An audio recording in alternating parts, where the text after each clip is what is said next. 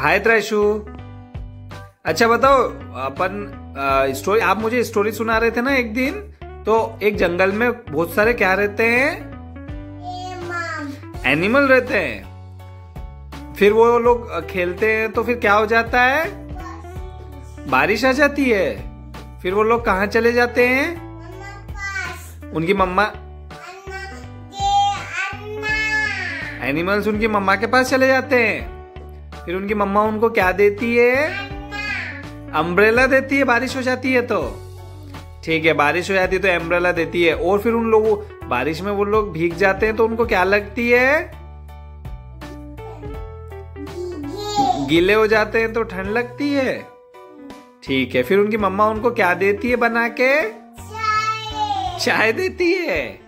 चाय पी लेते हैं वो लोग। उसके बाद क्या करते हैं वो लोग? सो जाते हैं। सो जाते हैं। उसके बाद फिर क्या करते हैं? सोने के बाद फिर उठ जाते हैं।